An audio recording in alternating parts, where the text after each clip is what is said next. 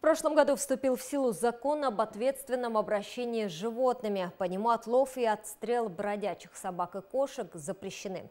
На реализацию нового порядка их отлова и содержания в сентябре 2022 года из областного бюджета было выделено 119 миллионов тенге. О том, что было сделано в этом направлении и что планируется еще сделать, расскажет моя коллега Зарина Удбанова. К настоящему времени областным управлением ветеринарии было освоено 56 миллионов тенге. Остаток средств в размере 63 миллионов было возвращено в бюджет. На текущий год управлением было запрошено 224 миллиона тенге. Такая сумма необходима для осуществления отлова бродячих собак, а именно содержание их в месте временной изоляции, классификация, умерщвление опасных агрессивных особей, вакцинация, стерилизация и кастрация. В прошлом году за два месяца работы было отловлено около 500 собак. Мы отлавливаем собак при обращении горожан, отвозим их в пункт временного содержания, там определяем их. Если собака не опасна и не агрессивна, мы проводим вакцинацию, стерилизуем либо кастрируем, ставим на учет, после чего выпускаем животное на волю. На ушах животных можно увидеть бирки. Это означает, что животное стерилизовано или кастрировано. Конечно, много сложностей с реализацией нового закона, так как наше общество не готово к нему.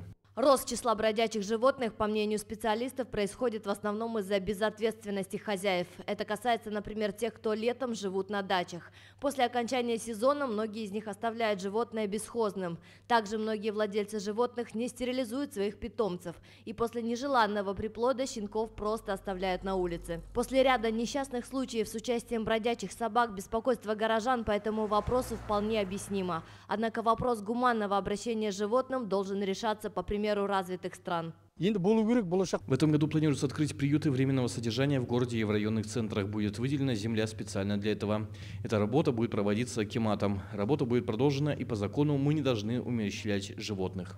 В статье 25 закона о ветеринарии определены обязанности владельцев животных. В частности, ими должны быть проведена регистрация домашних питомцев.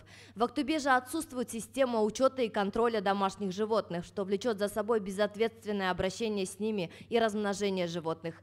Принятие мер к владельцам собак таким образом просто невозможно. Также этот вопрос по отношению к животным ежедневно поднимают зоозащитники. К сожалению, служба отлова практически не выполняется.